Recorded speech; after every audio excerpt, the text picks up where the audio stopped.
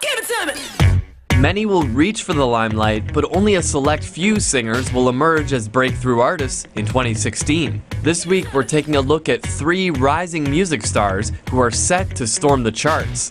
These are your next big thing voices on the verge. Met a boy last week trying to run that game. Already looking to corner the market on sass is British singer Fleur East. The London native has a torrid history with X Factor. The Simon Cowell series rejected her girl group during the first week of competition back in 2005.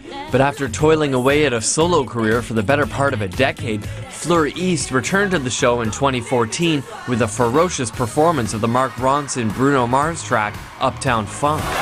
Since then, Fleur has been on a tear, storming the charts in Europe with Sax, an energetic single that's almost certain to translate well to North America. Girl, if you wanna hear me sing, you better play that sax. Give it to me. Check out Sax on Fleur debut album, Love, Sax, and Flashbacks. It's available to stream and download.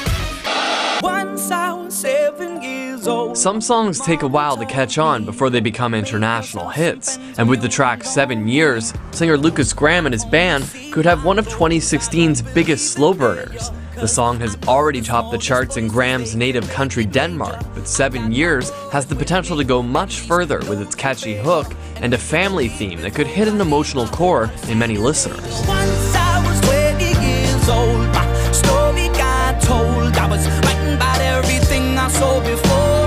Can stream Lukas Graham's Seven Years or download it.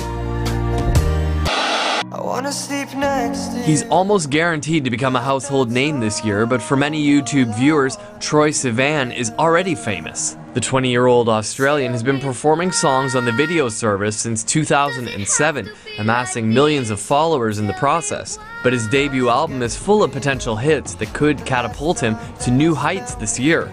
Check out his somber ballad, Talk Me Down. Wanna sleep next to you, but that's all I wanna do right now. So come over now and talk me down. You can hear Talk Me Down on Troye Sivan's debut album, Blue Neighborhood.